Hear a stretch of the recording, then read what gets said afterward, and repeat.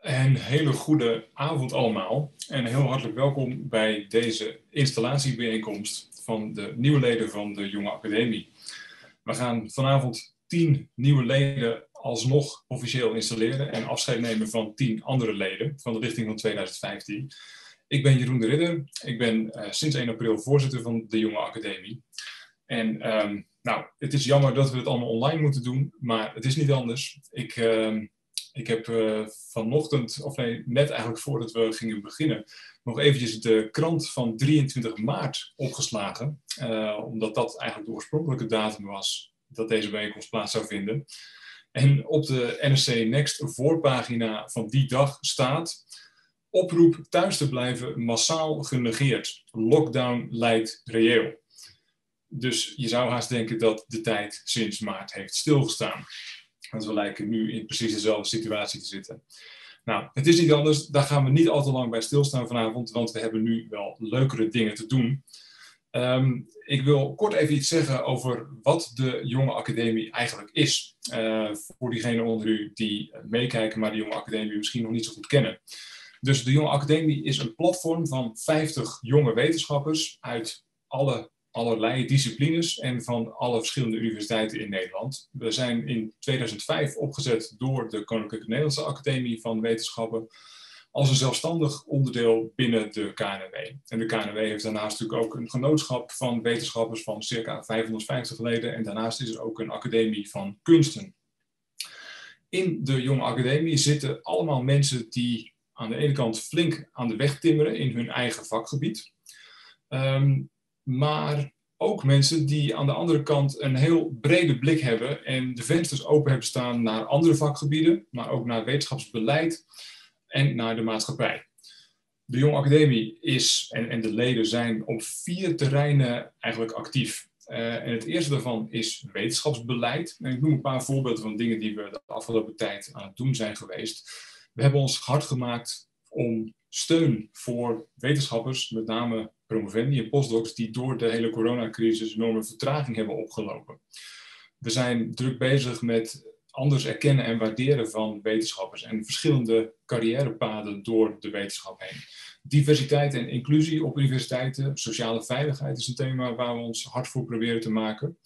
Onlangs hebben we ook het idee van een korter academisch jaar gelanceerd. Uh, ook mede als oplossing voor de werkdrukproblemen waar we mee te maken hebben in de wetenschap. Um, proberen we ons de komende jaren ook hard voor te maken. En nog iets anders, uh, waar een aantal jaren geleden al op gehamerd is, uh, uitbreiding van het promotierecht naar universitair hoofddocenten en universitair docenten. En eigenlijk willen we dat idee nog een stapje verder gaan brengen. En willen we eigenlijk rechten en plichten voor universitair hoofddocenten en universitair docenten helemaal gelijk trekken aan die van hoogleraren. Dus iedereen professor, om het even in een leus uh, te vatten.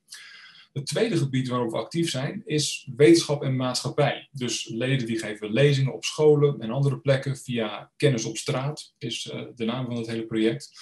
Uh, een aantal jaren geleden hebben we samen met de NS en het Spoorwegmuseum een groot evenement georganiseerd voor kinderen, vooral experiment-event. Uh, er zit een heel leuk citizen science project voor kinderen aan te komen in samenwerking met weekendscholen in Nederland. Dus eigenlijk daarmee proberen we juist kinderen te bereiken die normaal misschien thuis of op hun school niet zo snel in aanraking zouden komen met wetenschap.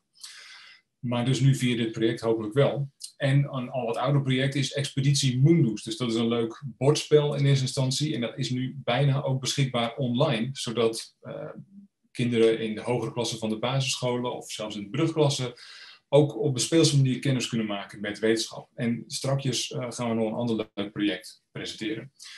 We zijn ook bezig, dat is het derde terrein, met inhoud en interdisciplinariteit. Dus we organiseren symposia over, uh, over thema's die we dan vanuit alle verschillende, allerlei verschillende disciplines belichten. Um, interscience, nou is momenteel even op pauze gezet, omdat alles online moet en we nog even zoeken naar goede vormen. Er zijn adviesrapporten verschenen over interdisciplinariteit in het onderzoek en het onderwijs. Er zijn ook allerlei projecten van leden samen die uh, hun verschillende expertises bij elkaar hebben gebracht om zo interdisciplinair met een thema bezig te zijn. Dus bijvoorbeeld een netwerk opgezet Stress NL, uh, vertel er later nog wat over. Ik heb zelf meegewerkt aan een project over democratie en digitalisering met historici, politiek filosofen, uh, communicatiewetenschappers, politicologen samen nadenken over het onderwerp. En het vierde terrein waarop we actief zijn is internationalisering. Dus een aantal jaren geleden is verschenen door leden van de Jonge Academie samengesteld uh, de Beginner's Guide to Dutch Academia. Dus voor nieuwe internationale wetenschappers die zich hier vestigen. Eigenlijk een soort uh, handboek van wat moet je nou weten over Nederland wetenschapsland als je hier terechtkomt.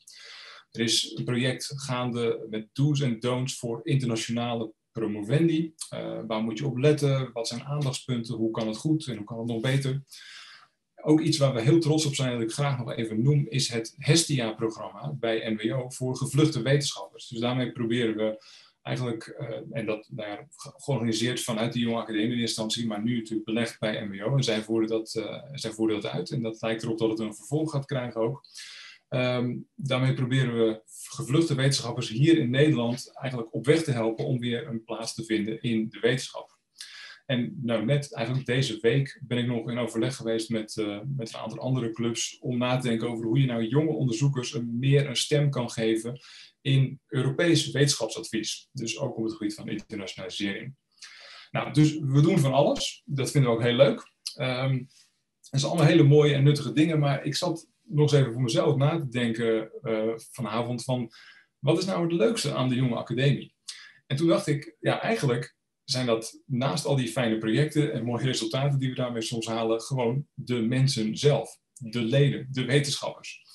En ik zat dit weekend een, uh, een boek te lezen van een Amerikaanse bioloog en wetenschapsfilosoof, uh, Robert Pennock. Dat boek heet An Instinct for Truth, Curiosity and the Moral Character of Science.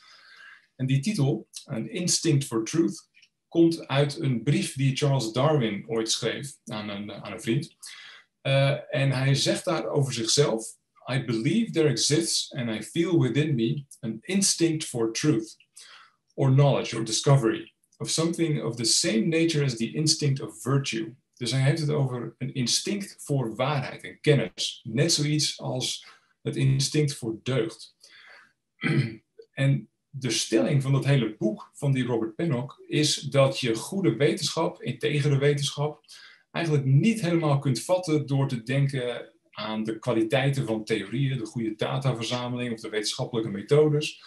Maar dat goede wetenschap ook van alles te maken heeft met de wetenschapper erachter, de mensen die wetenschap bedrijven en het karakter van die mensen goede wetenschappers, zegt hij, dat zijn mensen met zo'n soort instinct voor waarheid en kennis, voor ontdekking. Mensen die rücksichtsloos eerlijk durven te zijn naar hun eigen ideeën, naar het bewijsmateriaal dat ze verzamelen, naar de ideeën van anderen.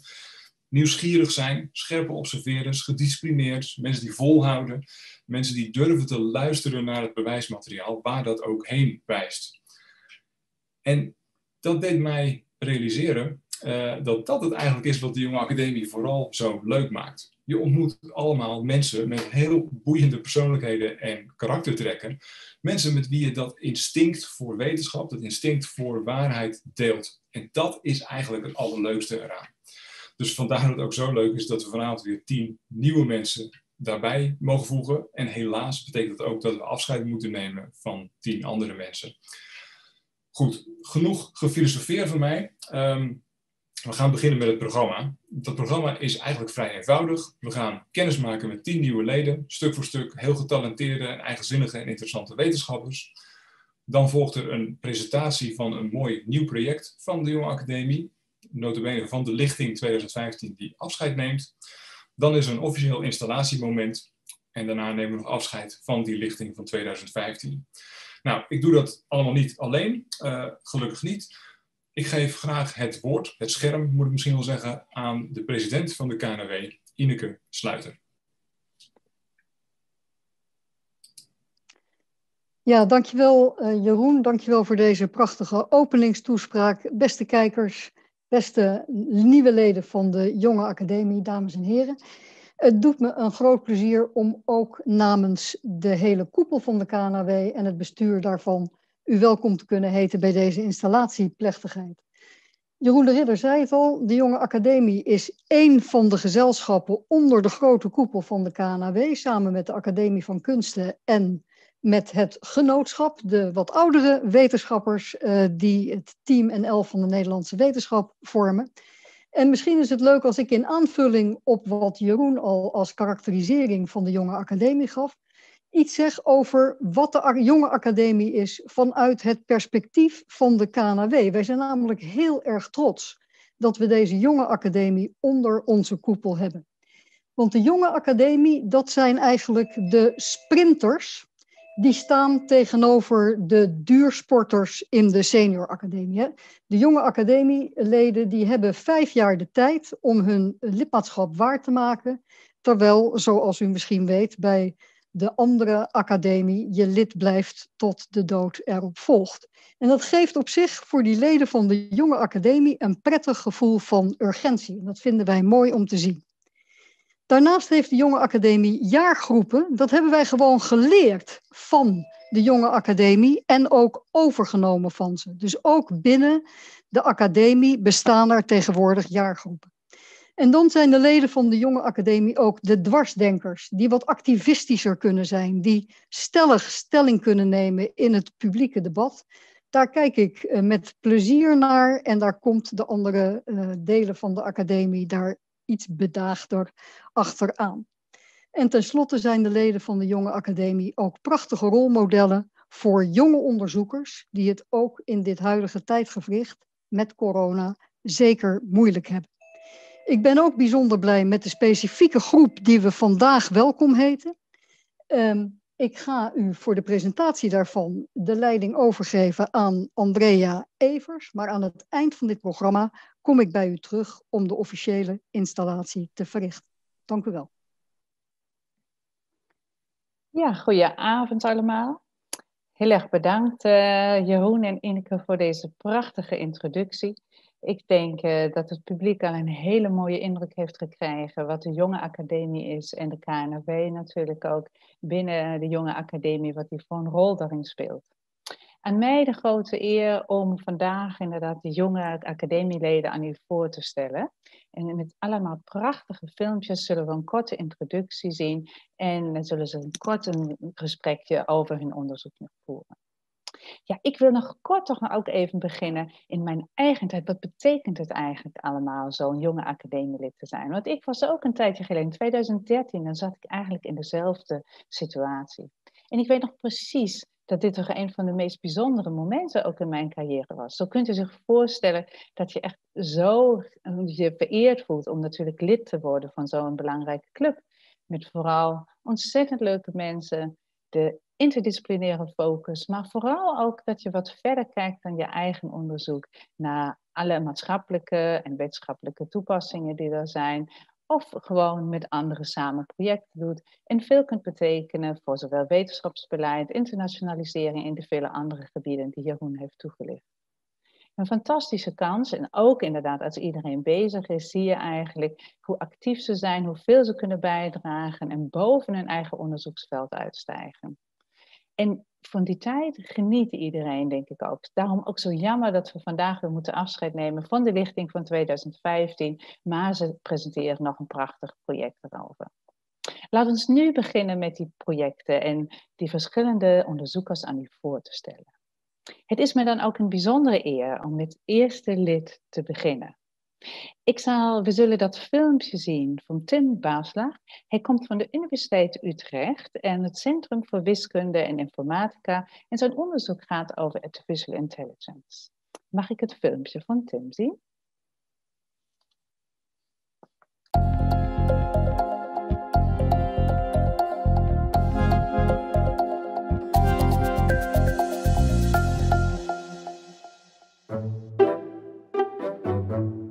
Ik leer computers onderhandelen.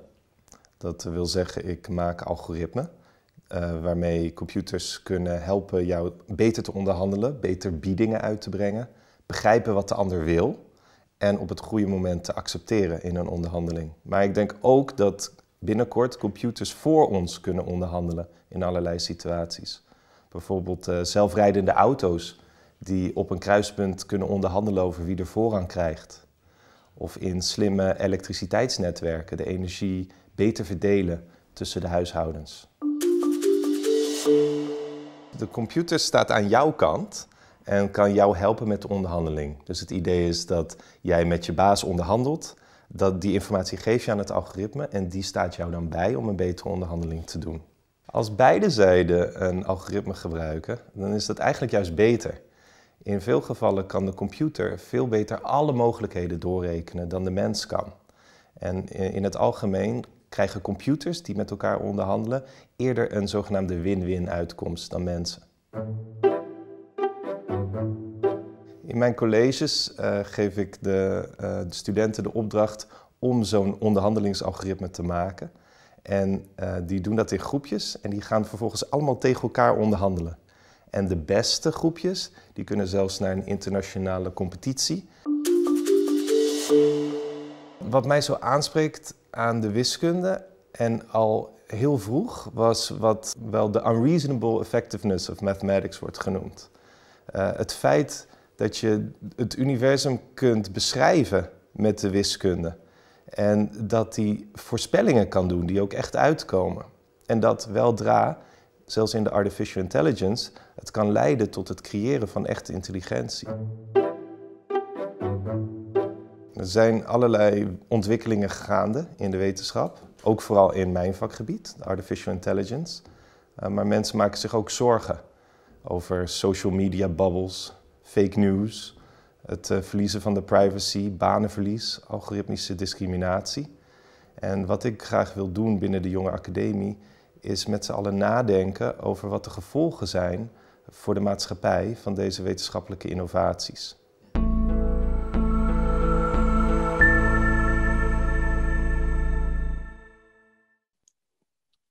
Nou, Tim, uh, dit was echt een hele mooie indruk van jouw onderzoek. Helaas liep het filmpje af en toe vast.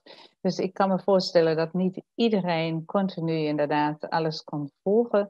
Dus leuk om daar nog eventjes bij stil te staan. Je, je onderzoeksveld zijn artificial intelligence uh, van het onderhandelen. Een ontzettend actueel thema met uh, ja, enorme innovatiekracht, enorme maatschappelijke gevolgen. Misschien kun je daar even kort uh, voor ons publiek op ingaan en kort exploreren. Hoe gaan jullie daarmee op dit moment om?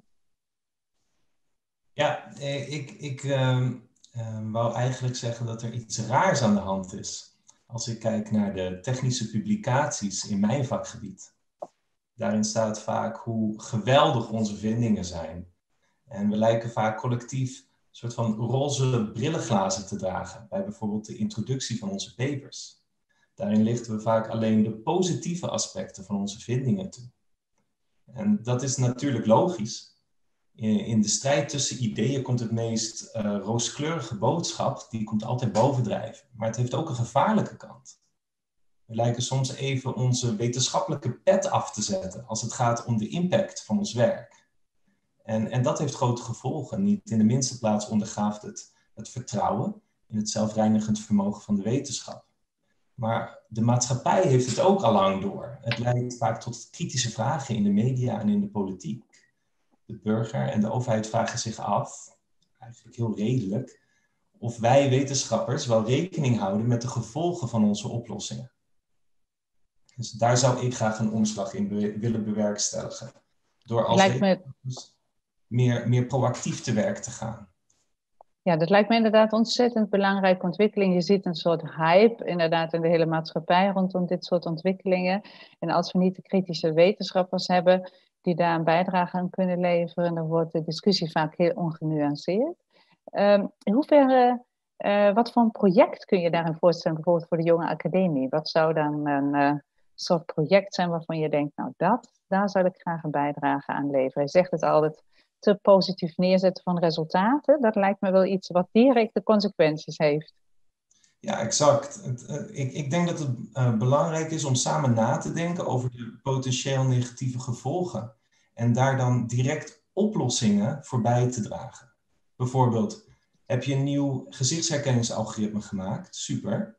Maar denk dan niet alleen na over de effectiviteit, maar ook over de mogelijke privacy-implicaties van massasurveillance kan het algoritme misschien zo worden aangepast dat het alleen gezichten telt in plaats van herkent, wanneer dat voldoende is. Dus daar zou ik graag een, een, groep over oprichten om na te denken over deze maatschappelijke impact van, van, ehm, van de technologie die wij maken. Bijvoorbeeld heb je zoals ik een nieuw onderhandelingsalgoritme gemaakt. Wat betekent dat dan voor mensen die daar geen toegang toe hebben? En wat gebeurt er als juist iedereen dit algoritme gebruikt? En het leuke is, dit soort vragen, die zijn ook wiskundig gezien ontzettend interessant om te bestuderen. Ja, dat geloof ik graag. Helaas hebben we nu natuurlijk niet de tijd om de hele wiskunde daarachter nog uh, te onderzoeken. Maar het lijkt me echt super relevant en ik verheug me al heel erg op je bijdrage binnen de Jonge Academie. Tim Baaslag, heel erg bedankt voor jouw introductie. Nou, uh, we proberen nu nog uh, bij de volgende leden om toch nog een keer die filmpjes uh, uh, te laten zien. we zullen dit doen met Tim Baaslag, de volgende kandidaat. Hij komt van de UvA Sociologie en houdt zich bezig met ongelijkheid in de samenleving. Dat is zijn onderzoeksveld. Mag ik het filmpje van Tim Baaslag zien?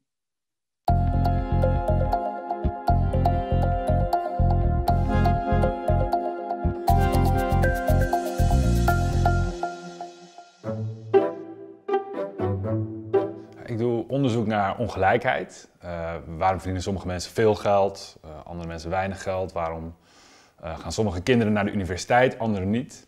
Waarom hebben sommige wetenschappers heel veel succes en anderen wat minder? En ik ben eigenlijk vooral geïnteresseerd in kansenongelijkheid. Dus heeft iedereen wel dezelfde kansen om iets te bereiken? Dat er ongelijkheid is, dat kunnen we zien. Maar waar die ongelijkheid vandaan komt, dat is eigenlijk, vind ik, de meest interessante wetenschappelijke vraag. Want pas als we dat weten, dan kunnen we ook echt iets doen aan ongelijkheid. En dus in mijn onderzoek heb ik uh, uh, aangetoond dat uh, wetenschappers die vroeg in hun carrière het geluk hebben om net een beurs te krijgen, dat die een hele andere carrière krijgen dan wetenschappers die de pech hebben gehad die beurs net niet te krijgen. Er dus ongelijkheid is tussen wetenschappers. Nou, dat kunnen we misschien wel accepteren. Sommige wetenschappers zijn heel goed en andere iets minder goed. Dus ja, er is ongelijkheid. Maar op het moment dat die ongelijkheid het gevolg is van een redelijk willekeurige beslissing aan het begin van een carrière, ja, dan kan je je afvragen, is dit wel wenselijk? Ik zou het heel fijn vinden als het gaat om onderzoeksfinanciering, als er meer mogelijkheden zouden zijn om ook als team aan te vragen. De extreme focus op het individu ja, leidt ook tot een soort vertekend beeld van hoe de wetenschap werkt. Wetenschap doe je samen. Er zit natuurlijk wel een bepaalde spanning tussen de jonge academie, wat een hele exclusieve club is op een bepaalde manier, waar maar tien mensen per jaar toe mogen treden. En het idee van het Matthäus-effect, waarbij sommige mensen heel veel status krijgen omdat ze het geluk hebben om net wel of net niet ergens in te komen. Dat is bij die jonge academie natuurlijk ook zo. Uh, hè, want uh, misschien waren er wel elf hele goede kandidaten, maar er kunnen er maar tien in. Dus die elfde, ja, die heeft dan toch pech. Hoe kunnen we er nou voor zorgen dat in de jonge academie zitten, dat het niet gaat om status of om exclusiviteit of om een soort het creëren van de wetenschappelijke elite, maar dat het echt gaat om mensen die inhoudelijk gedreven zijn om iets te doen aan de wetenschap, van allerlei rangen en standen en uit allerlei uh, uh, gebieden. Uh, en ik denk dat dat een goede beweging is, maar dat blijft een spanningsveld.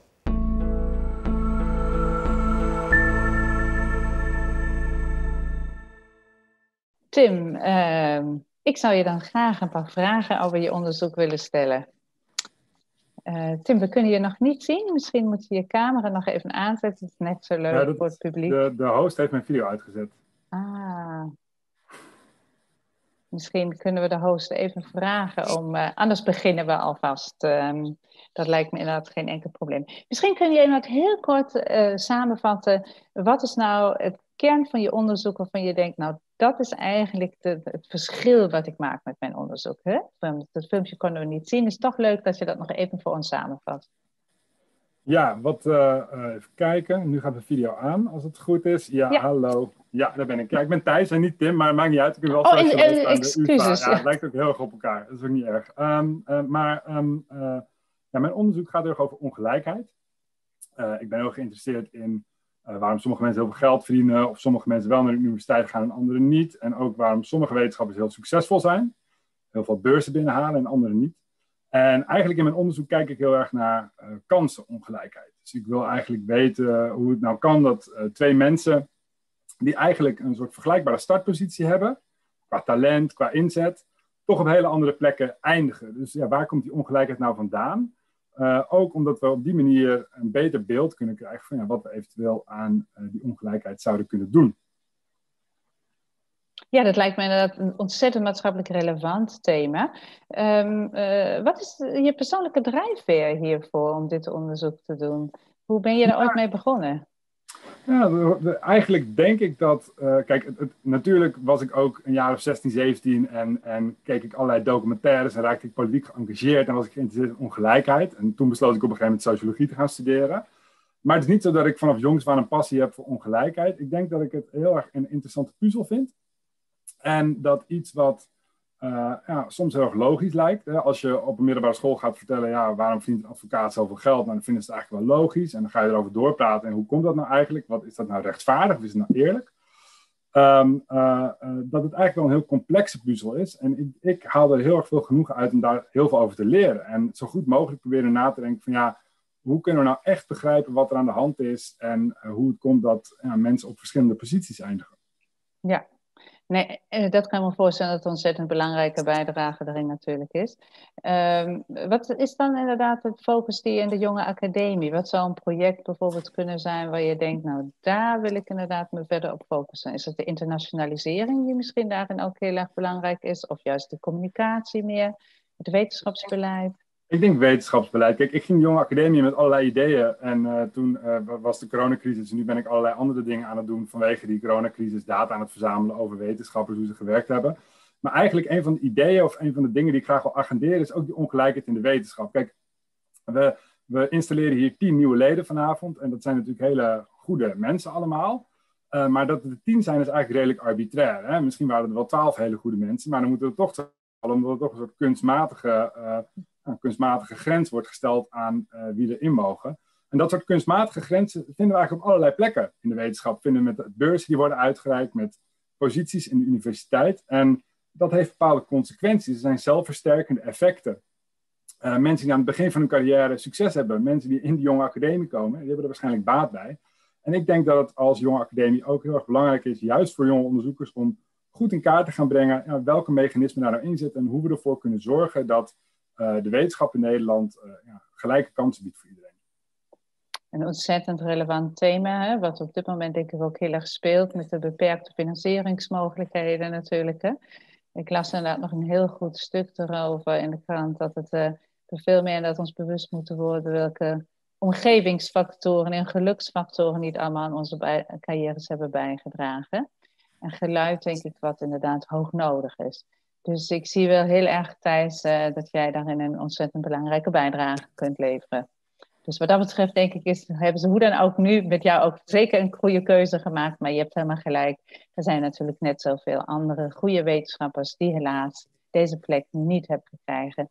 Misschien des te belangrijker de verantwoordelijkheid voor anderen om daar het beste van te maken. Nou, Thijs.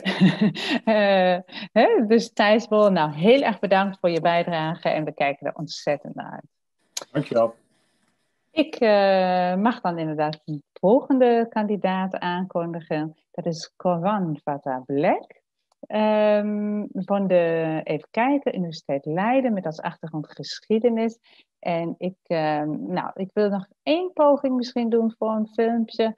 Uh, als het niet werkt, laten we dan vooral snel ermee stoppen. Maar laten we toch nog even proberen of we niet een van die filmpjes nog draaien krijgen. Dus graag even nog één keer het filmpje proberen, anders doen we het interview wel.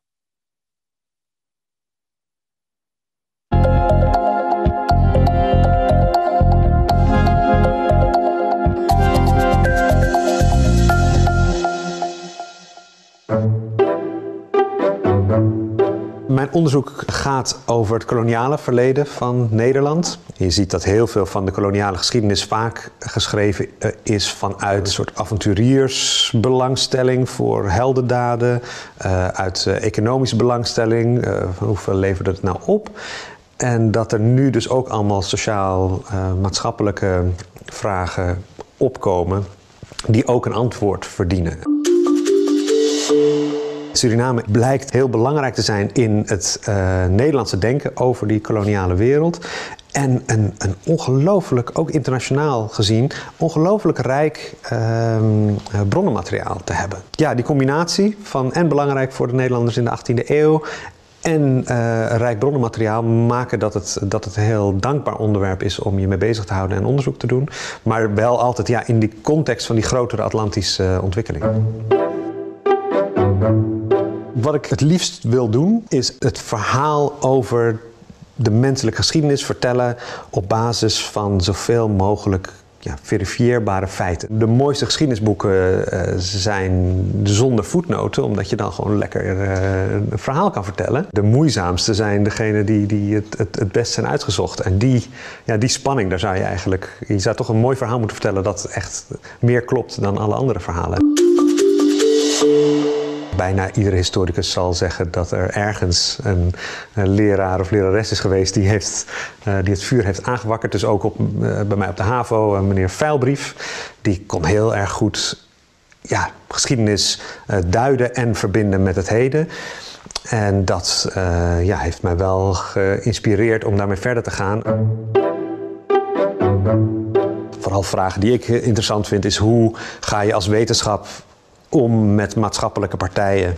Uh, en dat kunnen bedrijven zijn, maar ook uh, actiegroepen of musea of vakbonden. Het zijn allemaal groepen die uh, invloed proberen uit te oefenen of de agenda van de wetenschap proberen te bepalen met de vragen die zij hebben. Vaak heel legitieme vragen. En in hoeverre ben je daar als wetenschap nou dienstbaar aan? Of, of moet je zeggen van nee, jullie zien het helemaal verkeerd en er zijn andere dingen veel interessanter? Nou, die spanning eigenlijk, dat, uh, ja, dat is iets waar ik met mensen uit andere vakgebieden graag meer over wil praten. En kijken of we daar ja, een soort richting aan kunnen geven of een soort handleiding kunnen maken.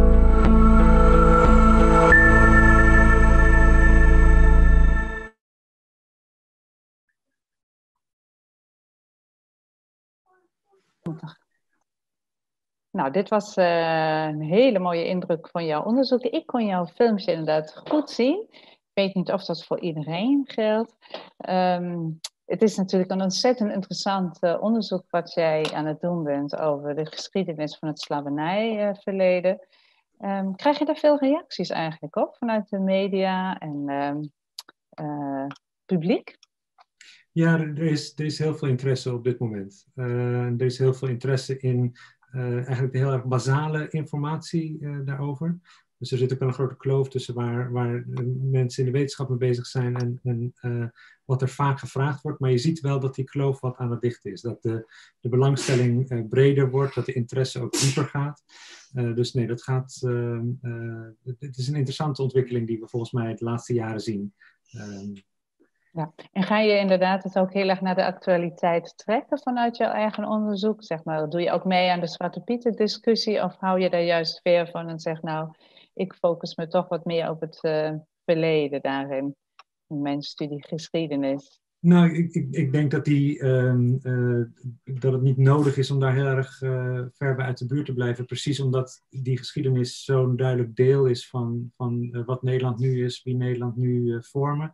Um, dus dat daar juist een, eigenlijk een verantwoordelijkheid is om vanuit kennis over die geschiedenis ook een rol te spelen in, in, in actuele ehm, actuele maatschappelijke debatten en die verder te helpen uh, op basis van, uh, van, het, van het bestaande onderzoek, uh, waar, waar, waar eigenlijk toch in, in brede zin weinig kennis over is. Dus dat, nee, dat, ik zou dat juist niet uit de weg willen gaan en daar, daar juist een actieve bijdrage in willen, aan willen leveren. Ja, fantastisch. En kun je ook voorstellen dat de jonge academie, ja, ik zag al dat je nog bezoek hebt op de achtergrond. We hebben natuurlijk allerlei rollen in het dagelijks leven, zoals ook uh, niet alleen maar uit wetenschappen. Maar kun je ook inderdaad voorstellen dat je bijvoorbeeld in de jonge academie daarmee een concreet project uh, zou willen doen? Uh, of daar bijvoorbeeld met wetenschapsbeleid, eh, kan ik me voorstellen, of maatschappelijke communicatie. Ja, zeker. Nou, we hebben denk ik bij, bij heel veel verschillende vakgebieden te maken met datzelfde vraagstuk eigenlijk, waar je als je koloniale geschiedenis doet in Nederland ook mee te maken krijgt, namelijk dat er allerlei partijen zijn die eigenlijk de agenda willen bepalen. Of die gewoon specifieke vragen hebben. De vraag is, wil je daar, wil je daar dienst maar aan, aan maken? Dat, dat is in, ook in de medische wetenschappen zo. patiëntenverenigingen hebben natuurlijk een bepaalde, bepaalde rol. En een, een vruchtbare interactie zoeken tussen die, tussen die partijen en de wetenschap. Um, heeft denk ik uh, zeker op dit moment een, een, een, grote meerwaarde. En is eigenlijk de afgelopen half jaar alleen maar uh, uh, actueler geworden. Ja, nou ben ik het helemaal met je eens natuurlijk. En ik denk dat iedereen hier die luistert het heel erg eens met je zal zijn. En prachtig dat je dat vanuit je wetenschapsgebied hè, met deze geschiedenisachtergrond inderdaad kan aanvullen. Dus uh, ja, ik denk dat iedereen heel erg uitkijkt ook uh, naar jouw bijdrage daarin. Uh, dus heel erg bedankt, Karan. En heel veel succes de komende vijf jaar.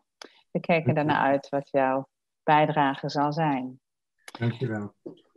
We zouden dan doorgaan naar het volgende. En we zullen er toch nog even proberen een volgend filmpje u te laten zien. Omdat het zijn zo prachtige filmpjes. Ja, de ene keer lukt het wat beter dan de andere keer. Maar hierbij dus uh, het volgende filmpje van Lisbeth van der Gif van de Universiteit Utrecht. Ook wederom met de achtergrond van de geschiedenis. Uh, maar nu kijkt ze inderdaad vooral uh, uit milieu, milieuwetenschappen. Mag ik dat filmpje van Lisbeth?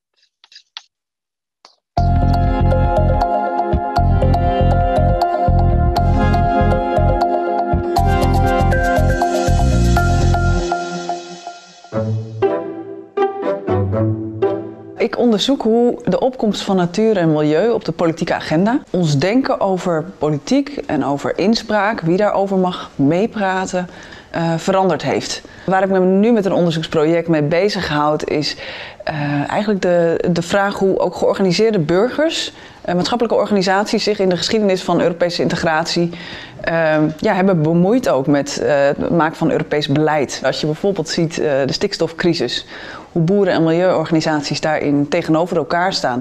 Ik denk dat het interessant is om te kijken van welk proces is daaraan vooraf gegaan. Kijken naar de geschiedenis stelt ons in staat om na te denken van die ideeën die toen uh, belangrijk waren over politiek en over wat democratie is, vinden we die ideeën nog steeds belangrijk klimaatverandering, klimaatcrisis, uh, dat is niet alleen een, een technisch probleem, um, waar we alleen met de beta-wetenschappen uh, tot een oplossing komen. Maar het heeft veel te maken met ook manieren van denken, met uh, bepaalde patronen van, van handelen. en volgens mij hebben we daar echt een geesteswetenschappelijk en ook sociaal-wetenschappelijk perspectief voor nodig om daar bepaalde patronen te doorbreken pure nieuwsgierigheid eigenlijk. Het is, het is als, ik, ik hou ook heel erg van detectives en van uh, speuren. En, en de onderliggende vraag voor mij is toch van hoe, hoe steekt nou die wereld in elkaar en waarom doen mensen de dingen die ze doen. Nou, geschiedenis, dat is, dat is een, voor mij een beginpunt. Dat is een manier om daar in ieder geval met die zoektocht uh, aan de gang, aan de slag te kunnen wat de Jonge Academie uh, fantastisch heeft gedaan de afgelopen jaren, meerdere dingen, maar een hele belangrijke speler geworden op, uh, op het gebied van wetenschapsbeleid. Uh, wat ik een beetje mis is ook uh, het kijken over de grens, wat er helemaal niet zo heel ver bij ons vandaan ook gebeurt in landen als Hongarije, Polen, Turkije, waar de academische vrijheid onder druk staat. Ik vind dat wij als wetenschappers, als academici en ook dat de universiteit als maatschappelijke speler ook een, een verantwoordelijkheid heeft om na te denken over de manieren waarop wij invloed en druk zouden kunnen uitoefenen, bijvoorbeeld in Brussel of in Den Haag, om te zorgen dat die stem van collega's um, in Budapest bijvoorbeeld, waar uh, opleidingen als gender studies gesloten worden, um, gehoord worden.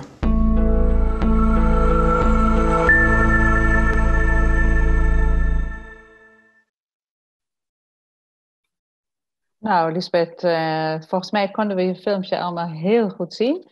En uh, echt ontzettend boeiend ook wat jouw onderzoek inhoudt. Weer zo'n actueel thema waar je vanuit de geschiedenis waarom kijkt naar de klimaat- en milieuwetenschappen en hoe er juist op een politieke manier mee wordt omgegaan. Um, uh, Lisbeth, ik zou je daar graag nog een vraag over stellen. Ik kan je nog niet zien. Misschien moet je nog even in beeld komen. En ik hoop dat jouw microfoon het ook doet. Um, tot nu toe kan ik jou nog niet zien.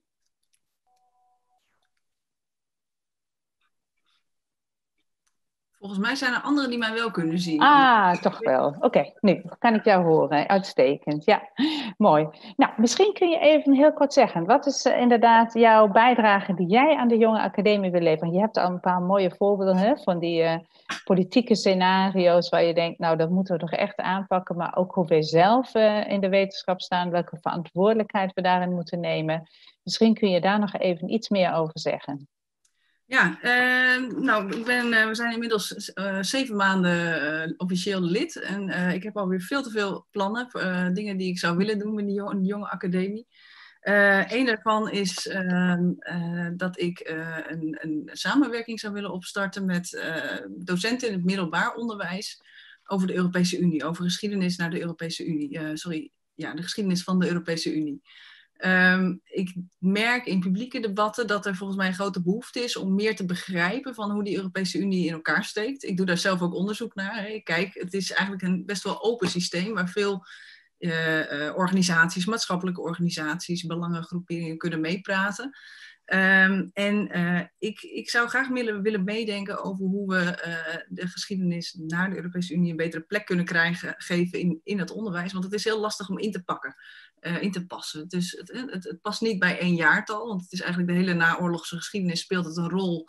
En raakt dat wat in Den Haag gebeurt steeds meer verweven met, met Europees beleid.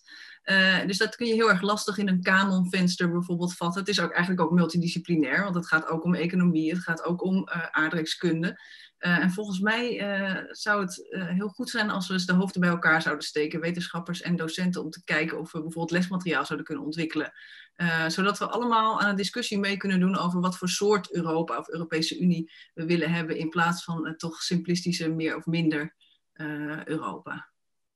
Nou, dat lijkt me echt super relevant. Ook omdat je juist zo'n interdisciplinaire achtergrond hebt. Maar tegelijkertijd eigenlijk ook heel erg een stem voor de geesteswetenschappen inderdaad wil laten horen. Hè? Dat begrijp ja. ik hieruit.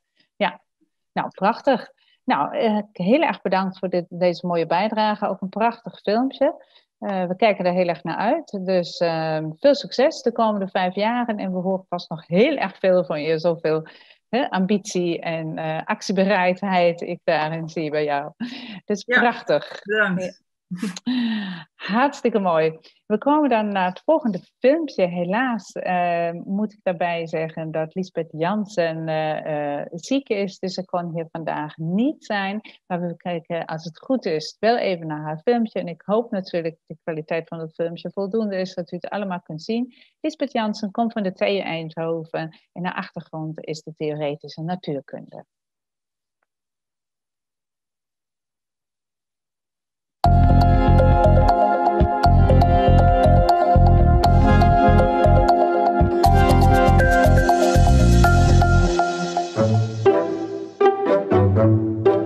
Mijn onderzoek gaat over glas. Glas kennen we natuurlijk allemaal uit ons dagelijks leven. De glazen waar we drinken of de ramen in onze huizen.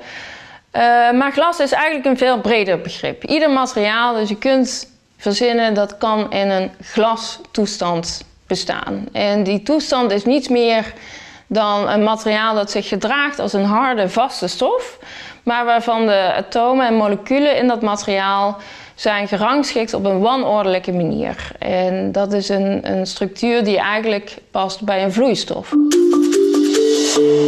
En interessant genoeg weten we ook sinds een aantal jaren dat uh, de natuurkunde van glasvorming ook terugkomt in levende cellen in het menselijk lichaam. En dat heeft allerlei consequenties, ook voor onze gezondheid. Bij wondgenezing bijvoorbeeld zien we een overgang tussen een meer vloeibare structuur, waarbij cellen heel snel bewegen naar de wond toe, naar een, een stationaire glasachtige toestand, waarbij de cellen uh, vast komen te zitten op een plek. En dat proces, die omschakeling tussen heel bewegelijk naar uh, heel onbewegelijk, dat is heel erg vergelijkbaar met de fysica van een glasovergang. Een onderwerp dat ik uh, zelf heel interessant vind en belangrijk is diversiteit binnen de academische wereld. Dat is een onderwerp waar binnen de jonge academie ook ontzettend veel wetenschappelijke kennis over aanwezig is, met name uit de sociale en organisatiepsychologie. En uh, het lijkt mij heel leuk om, om die krachten te bundelen en die kennis in te zetten in eigenlijk alle vakgebieden. En onder andere in mijn, uh, mijn technische beta-omgeving op de TU in Eindhoven. Ik droom ervan om uh, de theorie van de glasovergang een, een stap verder te brengen en om echt uh, dat probleem dat al decennia lang een van de grote onopgeloste problemen in de natuurkunde is, om daar echt een bijdrage aan te leveren om dat, dat probleem op te lossen.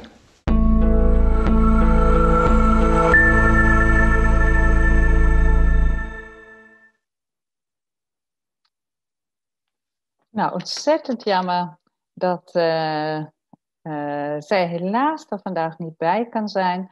Nou, dat betreuren we natuurlijk zeer. Uh, maar het was inderdaad, denk ik, een prachtige indruk van een, hè, een heel natuurkundig thema. En uh, nou, daar zullen we heel erg van genieten. En we hopen natuurlijk nog heel erg veel van haar in de toekomst te zien. En van harte beterschap voor vanavond. Um, we hebben nu vijf leden van de jonge nieuwe lichting uh, mogen begroeten al hier. Ik kan me voorstellen dat u even ook zin heeft in iets anders. Nou, daar hebben we rekening mee gehouden. Dat nu mag ik inderdaad het woord geven aan Marleen Kemperman, die het fantastische project van de lichting van 2015 zal introduceren.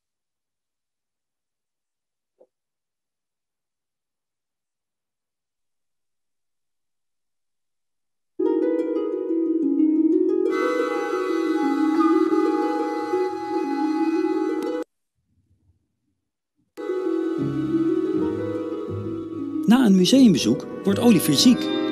Komt het door de geheimzinnige vondst die hij daar gedaan heeft, of is het toch een virus?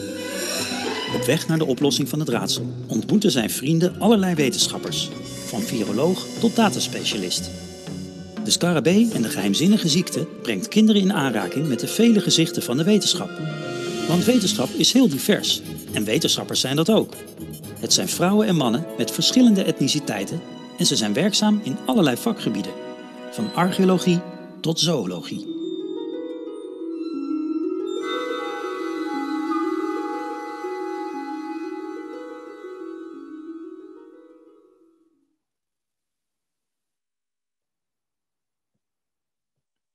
Ja, dit was de teaser die gebruikt is bij de lancering van ons stripverhaal een paar weken geleden. En ik kan mijn eigen video ook niet starten, dus ik ga gewoon uh, beginnen met, uh, met iets erover te vertellen. Ah, there you go. Nou kan ik hem wel starten. Even wachten. Ik zie mezelf nog steeds niet, maar ik hoop dat jullie mij... Ah, goed zo. Oké, nou dan uh, heel goed. Dit was dus de teaser die we gebruikt hebben bij de lancering uh, van ons stripverhaal, een paar weken geleden. De lancering van ons jaarproject, die viel dus een beetje samen met het afscheid van onze lichting. En ik ben dus ook heel blij dat we net op tijd nog het resultaat kunnen laten zien. En alweer meer dan vijf jaar geleden zijn we hiermee begonnen. En al bij een van onze eerste brainstorms kwam het idee om diversiteit onder wetenschappers of van wetenschappers centraal te stellen bij ons project. En ook al vrij snel kwam het idee om een stripverhaal te maken, zodat we een, een leuke manier hadden om dit onder de aandacht te brengen van basisschoolleerlingen. Nou, en niet veel later zagen we heel toevallig eigenlijk een aankondiging van een workshop van een striptekenaar, Eva Hilhorst. En zo zijn we eigenlijk uh, vanzelf begonnen met dit project en zo zijn we erin gerold. En uh, nou ja, heel wat overleggen en uh, vijf projectbeurzen later hebben we dan nu eindelijk een heel mooi stripverhaal. En dat verhaal dat gaat over kinderen die als wetenschappers op zoek zijn naar um, de oorzaak van het feit dat een aantal kinderen plotseling ziek zijn geworden na een museumbezoek. En het is bedoeld voor kinderen van groep 7 en 8 van de basisschool. En ik heb nog heel veel proberen na te zoeken in alle documenten die ik heb en alle e-mails. Uh, om te zien wie van ons nou eigenlijk de vooruitziende blik heeft gehad om het onderwerp te kiezen uh, van een mysterieus virus. Maar ik heb het helaas niet meer kunnen vinden. Dus als iemand van onze lichting dan nog weet wie dat bedacht heeft, dan hoor ik dat graag. Nou, er zijn meer dan zijn 25.000 exemplaren uh, gedrukt van de strip. En de Scholierenacademie in Groningen heeft er een heel mooi lespakket mee gemaakt. En um, nou zijn we eigenlijk minder dan een maand verder na de lancering en al meer dan 20.000 exemplaren zijn aangevraagd. Dus we vinden dit echt een heel groot succes. Nou, iedereen van mijn lichting heeft hier aan meegewerkt. Dus ik wil graag iedereen danken voor het resultaat. En uh, daarnaast wil ik uiteraard Maartje, Cas en Esther en ook eerder al Janneke Visser heel hartelijk danken voor uh, de ontzettend grote bijdrage die zij hebben geleverd bij de realisering van dit project. Want ze hebben echt ontzettend veel gedaan. Nou, het was een heel mooi project om, uh, om op te zetten en om met anderen aan, aan te werken. En natuurlijk is het sowieso een hele mooie ervaring om lid te zijn van de Jonge Academie. Dus ik wil iedereen hartelijk daarvoor danken. Dank u wel. Nou, heel erg bedankt Marleen voor deze mooie introductie van dit uh, prachtige project. Ik denk dat het nog een ontzettend belangrijke bijdrage kan leveren voor het onderwijs. Um, en heel erg nuttig is inderdaad om op de verschillende manieren gebruikt te worden. En het is toch heel erg mooi dat jullie zo als groep nog dit uh, met zo'n geweldig project kunnen afsluiten. Dus uh, nou, heel erg bedankt voor deze heel erg mooie bijdrage en fantastische toelichting. Nou, dames en heren, we gaan dan even verder met onze komende vijf leden van de Jonge Academie. Um, waar we ook weer ontzettend trots op zijn en die wederom natuurlijk een fantastische bijdrage zullen leveren de komende vijf jaar. De volgende die ik mag introduceren is uh, Mariam Kavouzi van de Erasmus Universiteit, van UMC. Daar zij is vanuit de epidemiologie, houdt zich bezig met vooral de cardiovasculaire ziektes en dan vooral de uh, seksenverschillen daar en welke mysterieuze dingen ze daar als epidemioloog kan ontrafelen.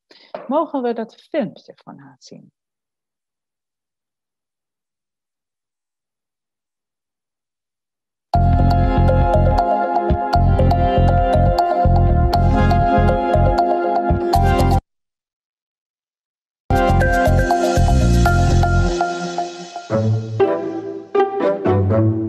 My research concerned epidemiology of cardiovascular diseases with a particular focus on sex and gender differences in the whole spectrum. So how sex and gender would affect the risk factor development, the disease onset itself, the disease progression, and prognosis. Traditionally, the research in cardiovascular disease has mostly been focused on men, and women comprise a very small proportion of um, the studies on cardiovascular disease, if any. I think by doing research, by investigating sex and gender differences in the whole cardiovascular spectrum, we would be able to contribute to better um, prevention, timely diagnosis, treatment, and prognosis of cardiovascular disease that matters most for both men and women. I like the education part because you're able to convey the knowledge to the new generation of young scientists. What I like also most interesting in my own field is to bring my own research into the education part. So to develop and devise new courses based on the results of our research and contributing actively to our education programs bringing my knowledge and expertise and my background, I hope to be able to bring together experts from different disciplines and uh, bridge the um, education and research and policy and practice together and on how to best implement sex and gender in uh, the whole spectrum. And that's something I really look forward to. I think it all goes back to diversity and inclusion for me. I think the lack of diversity and inclusion can really limit the quality of research, education, and uh, practice. So I look forward to be able to contribute to and see the optimal, let's say, implementation of inclusion and diversity in the whole spectrum, from the research itself, you know, like the research methods, research topics, to the research team, to the society.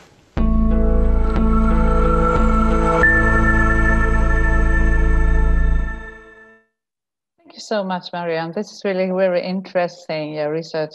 Uh, I know that these gender differences and sex differences in cardiovascular diseases are quite new in this area. Eh? There was not so much attention uh, for this whole topic, I think, about five years ago.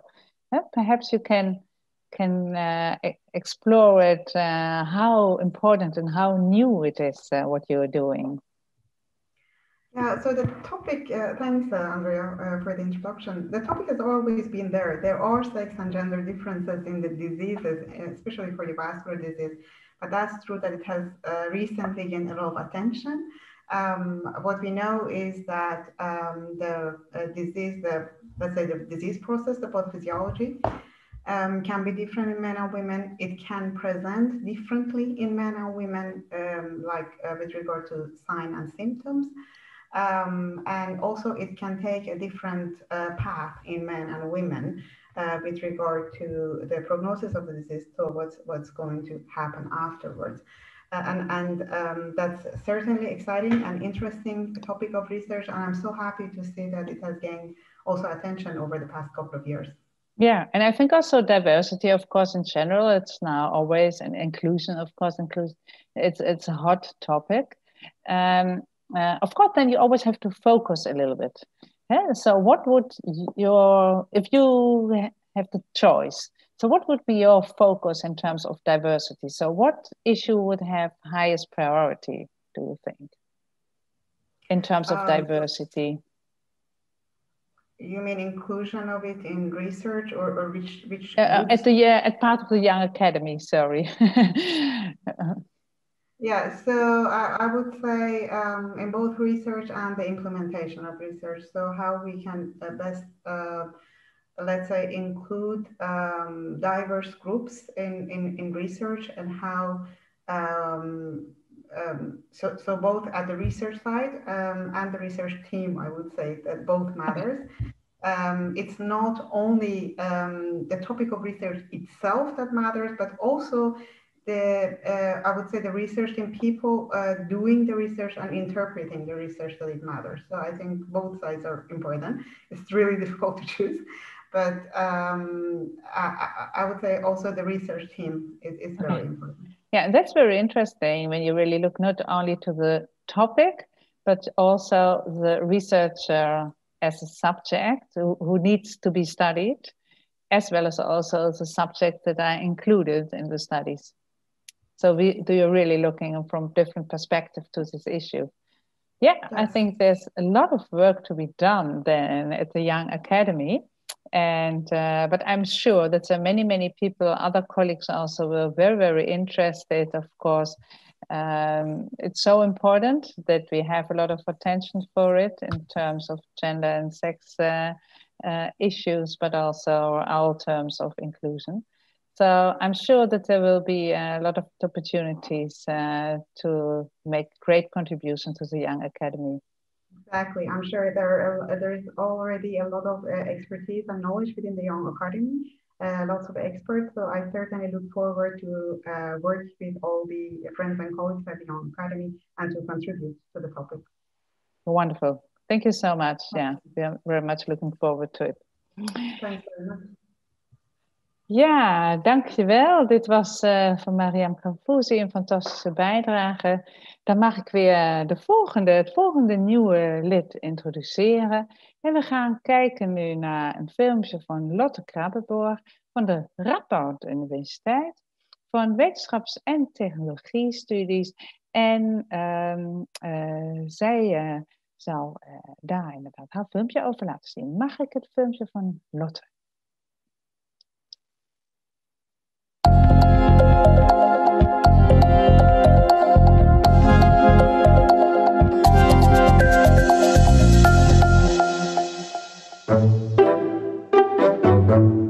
Wat ik probeer met mijn onderzoek is uh, al in een vroegtijdig stadium van een technologieontwikkeling na te gaan denken over wat het kan betekenen voor potentiële gebruikers, bijvoorbeeld voor patiënten. Uh, met als doel om dan uh, die feedback die patiënten geven, de behoeften en wensen en de zorgen die ze hebben, om die ook weer terug te koppelen naar wetenschappers en technologieontwikkelaars. Wat je nu vaak ziet is dat uh, wetenschappers en technologen heel erg bezig zijn om eerst die technologie maar te optimaliseren. En dan zeggen ze, nou, als we dat helemaal klaar hebben, dan gaan we het gesprek met de samenleving aan, hoe we het gaan inpassen. maar dan is het soms al te laat, want dan is die technologie, er zijn allerlei, ehm, ehm, is er allerlei geld mee gemoeid, allerlei investeringen zijn gedaan. en dan is het moeilijk om iets nog terug te draaien. Of de consequentie is dat mensen de technologie niet gaan gebruiken. En wat wij proberen is dus om te kijken om dat in een veel eerder stadium te doen, zodat de technologie ook nog wat aangepast kan worden.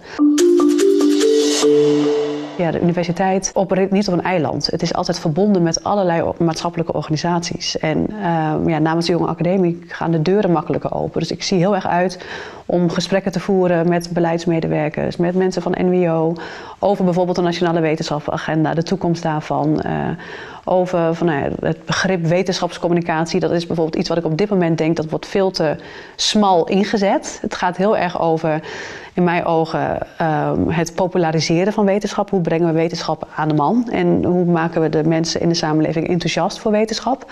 Wat zeker ook heel belangrijk is.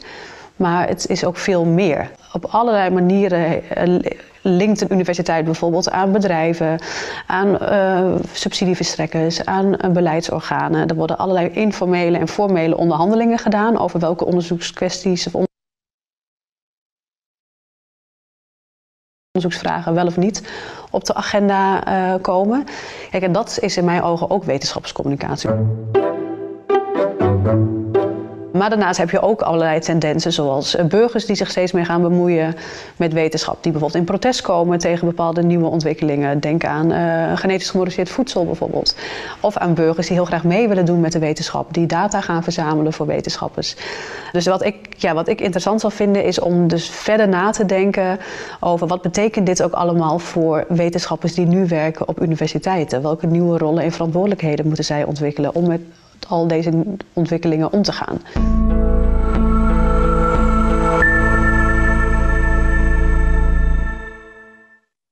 Ja, Lotte, dit was echt een hele mooie introductie van uh, het onderzoek wat jij aan het doen bent en welke bijdrage je wil leveren.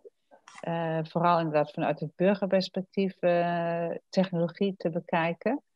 Iets wat ook een enorm actueel thema is natuurlijk op dit moment. Um, je noemt ook de Nationale Wetenschapsagenda. We herinneren ons dat natuurlijk nog allemaal goed. Hoeveel discussies dat ook teweeggebracht heeft. Um, zoals jij opnieuw de Nationale Wetenschapsagenda zou doen, om het even heel concreet te maken. Wat zou jij anders doen? Uh, nou, dankjewel voor de vraag. Goeie vraag. Uh, nou, ik zou eerst in ieder geval beginnen om op dit moment uh, een goede evaluatie te doen van wat is er nu goed gegaan, wat hebben de projectleiders die nu een project hebben lopen van, de, uh, binnen de Nationale Wetenschapsagenda, waar lopen zij tegenaan bijvoorbeeld als het gaat om transdisciplinair werken, want een van de voorwaarden is dat je dus samen met burgers een consortium hebt.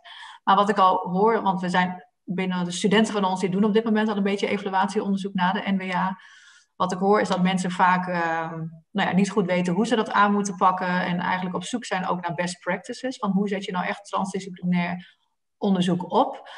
Um, uh, maar wat ik in ieder geval wat ik ook interessant vind. Bedoel, ik, ik, vind de Nationale Wetenschap, Wetenschapsagenda gewoon een heel interessant initiatief. Dus het is absoluut niet dat ik daarop tegen ben. Maar ik denk wel, als we het hebben over burgerparticipatie, is het wel interessant dat Um, dat ze burgers hebben uitgenodigd om wetenschappelijke vragen uh, in te zenden. Nou, en ik weet bijvoorbeeld, in ieder geval als ik gewoon kijk, bij wijze spreken naar mijn eigen familie, die, zouden, die voelen zich daarbij per definitie bij uitgesloten. Zij zouden dat nooit doen, terwijl ze misschien wel interesse hebben in bepaalde onderwerpen. Ja. Dus ik denk, we zouden ook als wetenschappers uh, ja, naar de samenleving toe kunnen gaan en kunnen luisteren. Waarom leggen we ons oor niet te luisteren bij buurthuizen? Uh, in cafés als corona voorbij is dan. bedoel, maar dat we dus in plaats van burgers die ons wat moeten komen vertellen, dat wij daar naartoe gaan. Uh, ja, zo kijken, hoe, en dan hoe, wel wat van thema's zijn, uh, hoe kunnen we daar vragen aan koppelen. Dus andere methoden die we ook nodig hebben. Hè? Dat we eigenlijk niet dezelfde methode gebruiken dan wat we nu inderdaad ons common sense is. Om die ja. burgerparticipatie echt te realiseren. En wat zou een stap zijn die jij dan in de jonge academie wil zetten uh, in die richting? Wat zou je graag met andere wetenschappers uh, juist uh, een bijdrage willen leveren binnen de jonge academie? Nou ja, verschillende dingen. Ik zou sowieso wel, want ik heb toen gezien dat ook, er is een, ooit een rapport geweest, een soort van position paper vanuit de jonge academie over wetenschapscommunicatie, maar die is inmiddels al van zeven of acht jaar geleden. Dus die zou ik heel graag willen actualiseren met een uh, groepje. Dus ik zit er ook over te denken om daar dus een projectaanvraag voor te gaan schrijven. Uh, uh, nou ja, en wat ik ook wel interessant vind, ik hoorde laatst ook van iemand binnen de jonge academie die bezig is om portretten te maken van Nederlandse Nobelprijswinnaars. En wat daar ook in naar voren komt, is dat het dus vooral mannen zijn die op dit moment uh, de uh, Nobelprijzen hebben gewonnen. En dat vind ik wel een interessant fenomeen. Ehm, van, omdat er ook echt over de, de, rol van de vrouw in de wetenschap uh, wat onderzoek te doen. Vooral ook meer met een educatief um, karakter, omdat ik ook, ik werk zelf op een beta-faculteit en uh, we, hebben, krijg, ja, we hebben meer mannen dan vrouwen ook wel op onze faculteit, maar ik krijg ook vaak um, van vrouwen ook wel vragen van hoe kan ik een carrière in de wetenschap vormgeven? Lukt dat dan wel als ik ook kinderen wil krijgen? En dus ook, ja, zoiets lijkt me ook interessant om eigenlijk ook van dat, kijk, er zijn misschien mannen die de Nobelprijs hebben gegeven, maar wat van onzichtbaar werk van vrouwen zit daar ook bij misschien. Dus, en hoe dan ook dat fenomeen van, ja, wie gaat, uh, wiens naam wordt groot, maar je, je doet het nooit alleen, je, je werkt samen. En hoe, uh, nou ja, dus dat, dat lijkt me ook, ook interessant om op te, op te zetten. Ja, erg mooi.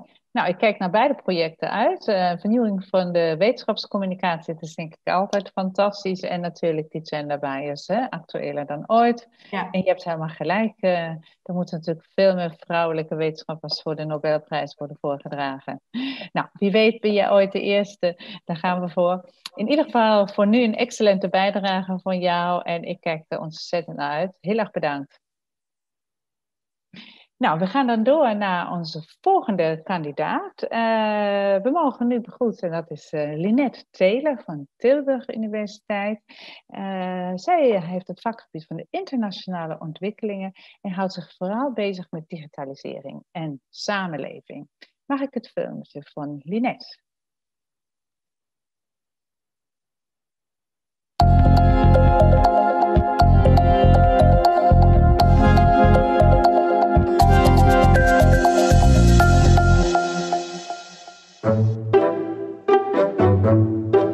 My research is about data justice. This is a very new topic. It's a mixture of social justice concerns and the governance of digital data. My particular take on this is that we need global governance solutions for digital data. We're not just thinking about data protection, we're also thinking about social justice issues and how those connect with the world of technology. That's a great question if it's actually possible to successfully produce conclusions about this because it's new, it's very ambitious.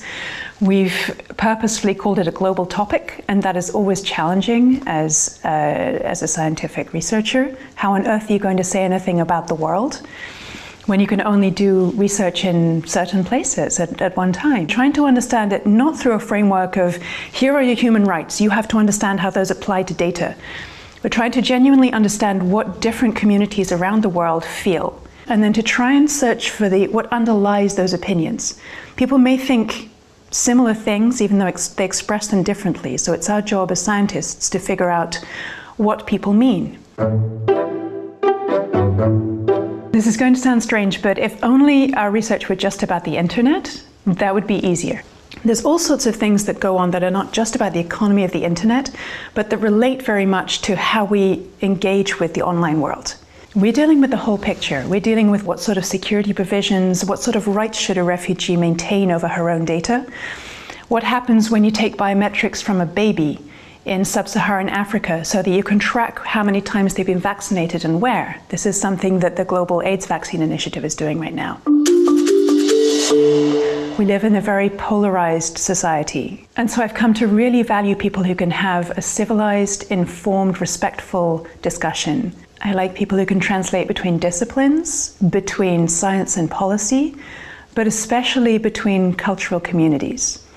I like people who can talk across political divides and who can make sense without taking sides. I think that's one of the most valuable things that we see around us right now.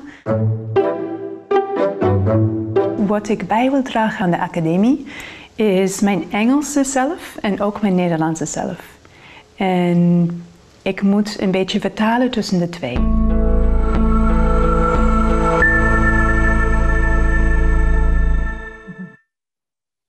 What a wonderful combination between your English and Dutch uh, video. And I see that you really would like to connect different worlds, uh, Lynette.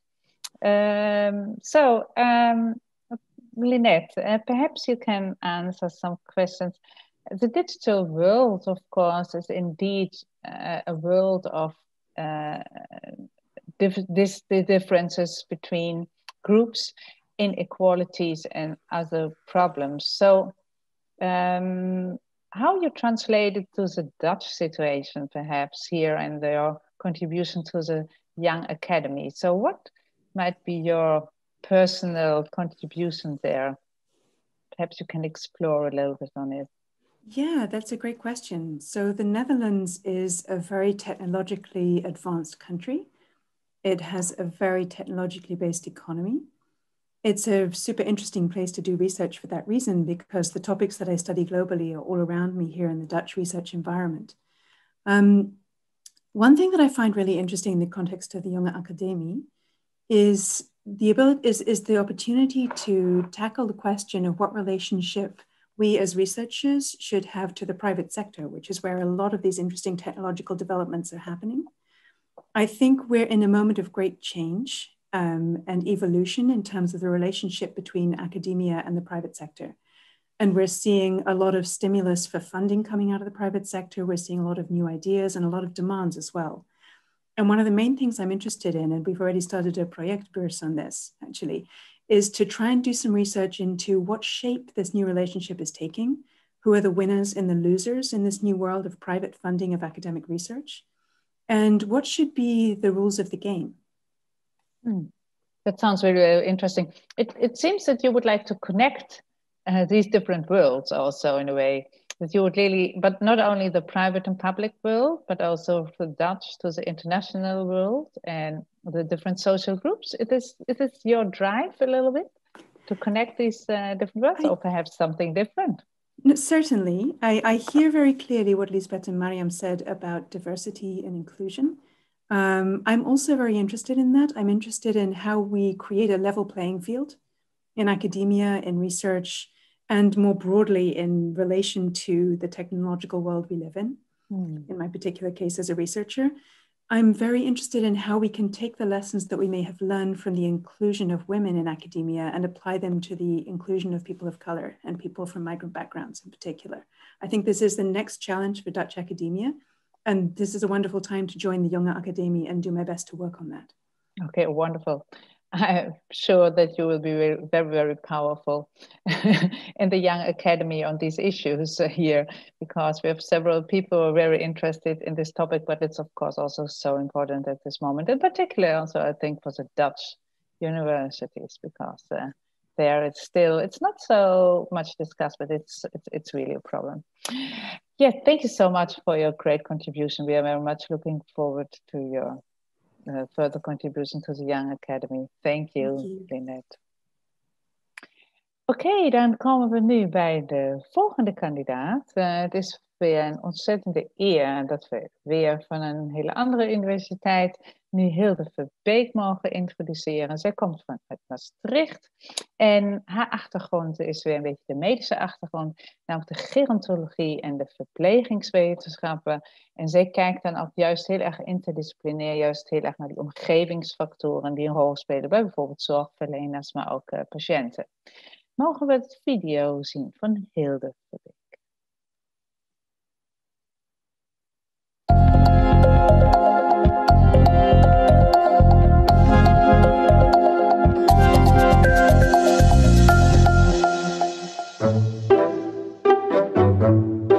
Mijn onderzoek richt zich op de zorgomgeving voor ouderen, in bijzonder mensen met dementie, hun naasten, vrienden, familie en uh, zorgmedewerkers.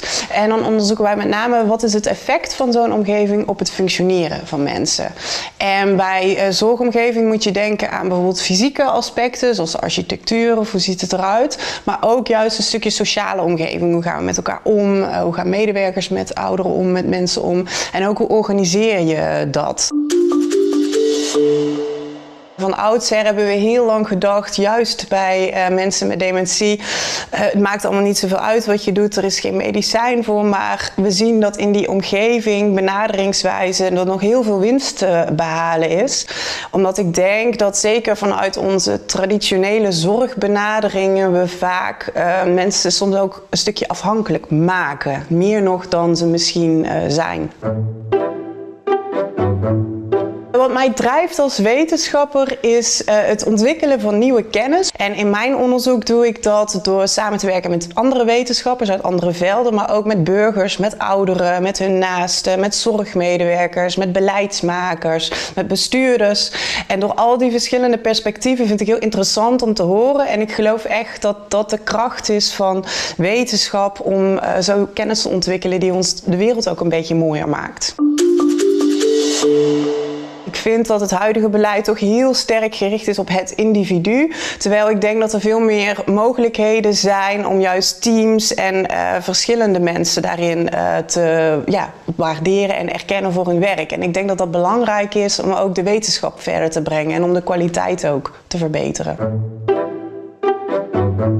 Mijn droom zou zijn dat we veel meer jongeren en oudere burgers, wetenschappers bij elkaar kunnen krijgen, samen van elkaar kunnen leren om zo een soort open uh, maatschappij in te creëren waar je kunt wonen, waar je kunt werken, waar je kunt verblijven, ook als je zorg nodig hebt.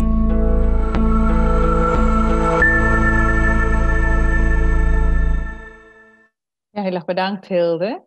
Uh, heel erg betrokken filmpje waarin je laat zien waar je drijf is inderdaad om die zorg toch echt heel erg te verbeteren. En heel erg veel meer dat omgevingsperspectief mee te nemen. Iets inderdaad wat in de huidige zorg denk ik heel erg ontbreekt. Het is heel erg belangrijk dat daar veel meer onderzoek natuurlijk naar gaat gebeuren. Um, uh, in hoeverre heb je daar, zie je ook concrete projecten voor je die je op dat gebied kunt doen uh, bij de jonge academie? Of wil je misschien ook meer algemene de omgeving betrekken, daarin een rol spelen. Misschien kun je daar nog even over uitweiden. Ja, wat ik, uh, dankjewel. Wat ik heel graag zou willen doen, ook binnen de jonge academie, is een soort van hotspots creëren. Uh, van, nou, dat de universiteit echt een verbindende rol kan spelen binnen de regio bijvoorbeeld. Ook met een nieuw rapport rondom onderzoek en innovatie in de regio. Waarbij je mensen bij elkaar kunt krijgen van, ja, wat zijn nu de vragen? Ook richting de zorgomgeving, wat hebben we nodig? En wat ik gemerkt heb, en dat is zeker denk ik wel belangrijk voor de ouderenzorg, dat we ook veel jongeren kunnen enthousiasmeren. Dat we veel meer dat intergenerationele aspect uh, aan de orde kunnen stellen tussen de verschillende disciplines, mensen met verschillende achtergronden. En ik hoop dat we daarin binnen de jonge academie ook een, uh, ja, iets kunnen opzetten qua project. Of, uh, en ik heb mijn voorgangers ook al, hè, dingen, dus ook samenwerking privaat-publiek, uh, met bedrijven, dus van allerlei dingen die daar wel in samen kunnen komen, denk ik. Ja, nou ja, ik hoor inderdaad heel veel dezelfde thema's ook bij jullie terug. Dus ik weet dat er eigenlijk geen jaarprojecten meer zijn van zo'n groep. Maar ik zie toch heel erg hier een van de andere jaarprojecten die jullie daarin kunnen doen. En die krachten heel erg kunnen bundelen op dit gebied. Het is ook, het lijkt altijd alsof er in één generatie spelen bepaalde maatschappelijke thema's zijn gewoon, hebben zo'n grote urgentie. Dat die gewoon bij veel wetenschappers toch vooral um, uh, he, daarin uh, op een opkomen dagen. En jij als wetenschapper die juist de omgeving zo belangrijk vindt, kan ik me voorstellen dat jij ook heel erg geniet om nu in de jonge academie met veel mensen daarin een rol te spelen. Dus wat betekent het voor jou persoonlijk? Misschien kun je daar nog een woord over zeggen. Nou ja, ik weet dat ik toen ik aan het promoveren was ooit een rapport las van de Jonge Academie. En dat ik dacht, wauw, wat een fantastische club. En kan ik me daarvoor aanmelden? Maar toen zag ik de selectieprocedure, et cetera. En toen dacht ik, oh, dat lukt me nooit. Dus ik vind het echt fantastisch dat ik nu die kans krijg. En ik vind het heel mooi omdat je juist die verschillende disciplines met elkaar het gesprek aangaat. En ook elkaars achtergrond dit kennen. Want soms is dat nog best wel ingewikkeld. Omdat je niet dezelfde taal spreekt vanuit de geesteswetenschap of de technologie of meer de beta-kant. En de Jonge Academie is echt een super enthousiaste club waarin je dat gesprek met elkaar kunt aangaan op een kritische manier. En ik denk dat je samen ook echt een stukje verder kan komen om nieuwe modellen te ontwikkelen of nieuwe tools aan te bieden van hoe kunnen we de wetenschap daarin uh, verder brengen. Door mensen individueel te erkennen en waarderen, maar ook de teams. En uh, ja, om dat samen zo verder te brengen.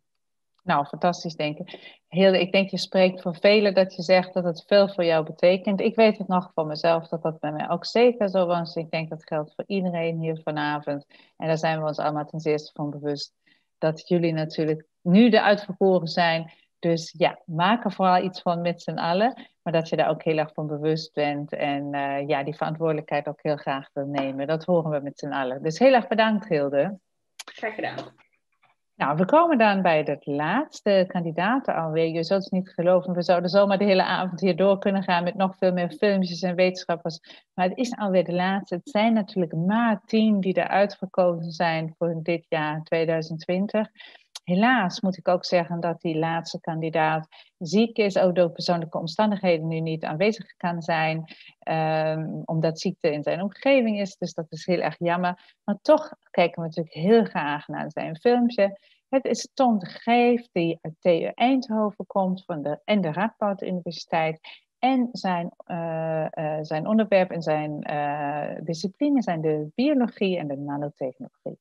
Dus we willen heel graag dat filmpje van Tom zien. Kunnen we dat?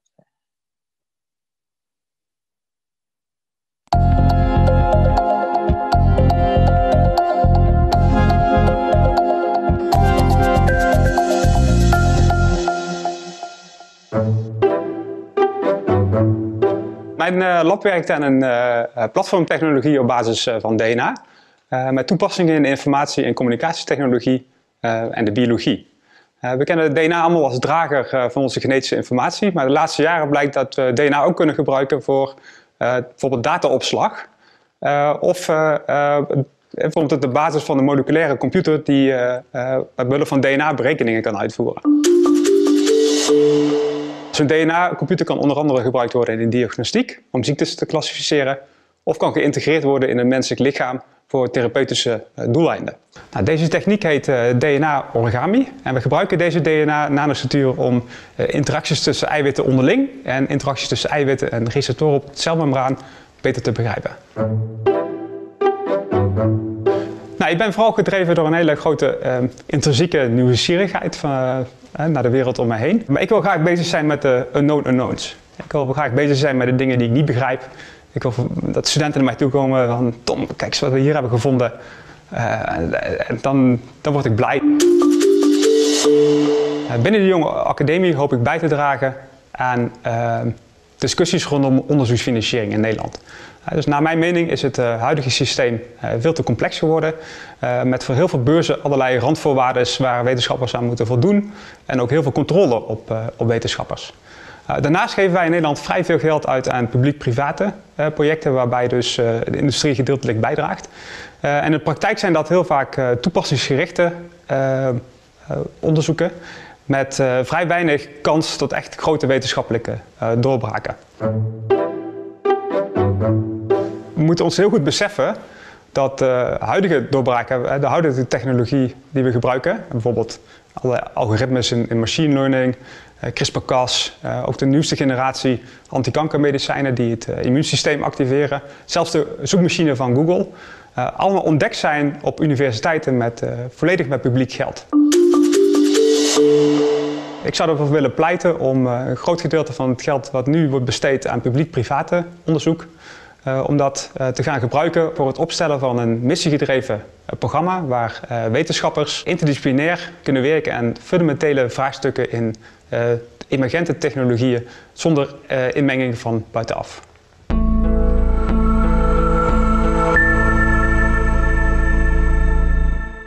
Nou, prachtige video van Tom de Geef die uh, ons hier inderdaad meeneemt met het fundamentele onderzoek en daarvoor pleit. Nou, in hem zie ik echt een enorm belangrijke bijdrage voor de jonge academie, die heel veel stof laat opwaaien voor de komende jaren en een heel erg interessante project kan eindigen. Nou, helaas kan hij dus niet aanwezig zijn, dus geen interview met hem. En dit waren alweer de tien kandidaten die ik mocht introduceren. Ik weet niet wat u denkt, maar ik moet zeggen, ik ben zo enthousiast. Ik vind het echt geweldige kandidaten die zo belangrijke wetenschapsgebieden hebben, maar heel duidelijk ook laten zien dat ze ver boven hun eigen wetenschapsgebied uitstijgen. Heel veel belangstelling breed hebben. Ik zie daar heel veel mooie projecten uitkomen. Maar goed, nu moet het officiële moment nog komen. De echte installatie, die gaat natuurlijk gebeuren door de president van de KNW. Dus ik mag het woord weggeven aan Ineke Sluiter. Ja, hartelijk dank Andrea. Beste nieuwe leden van de Jonge Academie, ik heb genoten van jullie presentaties. Ik heb de geweldige energie gezien die in jullie onderzoek zit. Ik denk dat jullie een geweldige tijd met elkaar tegemoet gaan. En nu is inderdaad het moment gekomen om uh, jullie ritueel te installeren als leden van de Jonge Academie. En normaal gesproken gebeurt dat door een gongslag op de grote gong in de Timbergenzaal in het Trippenhuis. Nou is er bij de inrichting van eh, de presidentiële thuiswerkplek even geen rekening mee gehouden dat ik dat ding nodig heb en ik heb hem dus niet. Maar gelukkig bracht mijn vrouw uitkomst en ik ga zo dadelijk de officiële installatie dan ook verrichten door middel van een geluid dat wat lichtvoetiger is dan die zware gongslag en dat daarom misschien juist extra goed past bij de jonge academie. Dan moet ik u wel vragen om even alle associaties met koeien, roomyoghurt en melkchocolade te vermijden en toch even vol doordrongen te zijn van de plechtigheid van het moment. Want Tim Baarslag, Thijs Bol, Carwon Fata Black, Lisbeth van der Grift, Lisbeth Jansen, Tom de Greef, Mariam Kafusi, Lotte Krabbenborg, Lynette Taylor en Hilde Verbeek. Hierbij installeer ik u als leden van de Jonge Academie. En ik geef graag het woord aan uw voorzitter, Jeroen de Ridder. Dankjewel, Ineke. Um, ik, sta uh, met een mond vol tanden aan deze, deze bel, kan geen gong tippen. Fantastisch. Dankjewel, Ineke. En dankjewel, Andrea. En dankjewel, alle nieuwe leden. Um, ik heb nu de ja, twijfelachtige eer om afscheid te mogen nemen van de leden van de lichting 2015. Uh, mag ik jullie vragen, voor zover jullie aanwezig zijn, om jullie camera's even aan te zetten, zodat de mensen thuis jullie nog even in beeld kunnen zien ook. Dat is wel leuk. Hou het geluid nog even uit, anders dan rommelt het allemaal door mijn geluid heen. Kijk, er zijn er heel wat.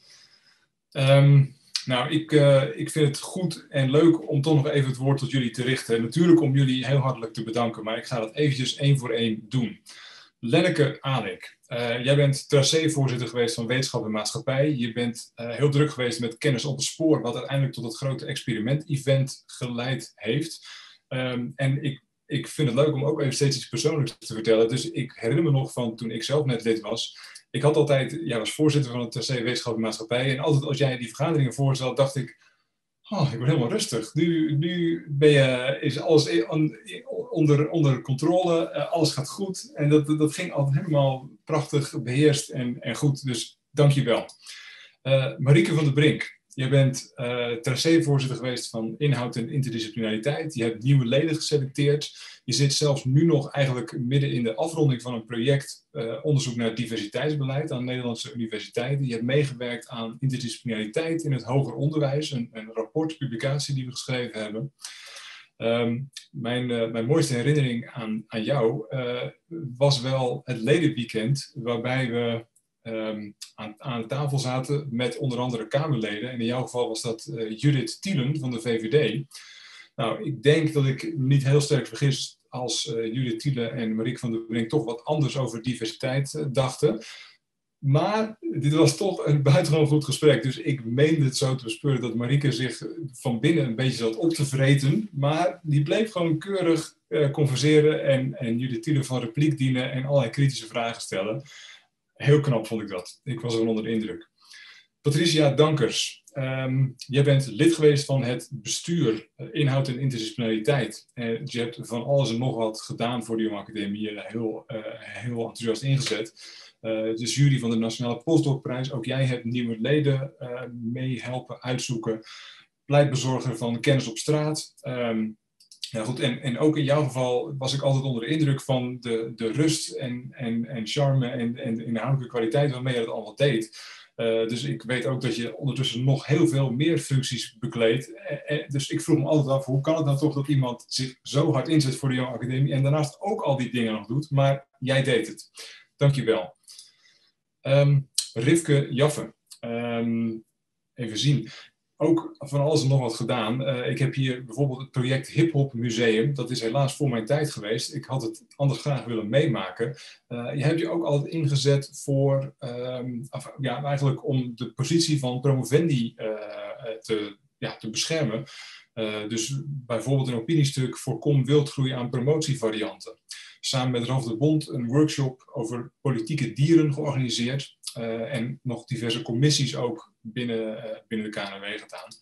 Um, nou, wij hebben niet heel veel gepraat met elkaar, denk ik, binnen de Jonge Academie. Maar ik, ik herinner me altijd wel dat jij, nou ja, in ieder geval in mijn beleving hoor, dus dat zegt misschien net zoveel over mij als over jou, maar jij zei altijd dingen waar ik nooit aan had gedacht in een vergadering. En dat is ook een van die dingen die nou zo leuk is aan de Jonge Academie. Je komt allerlei heel verschillende mensen tegen die andere dingen zeggen dan je zelf zou denken. En dat is juist heel fijn. Dankjewel.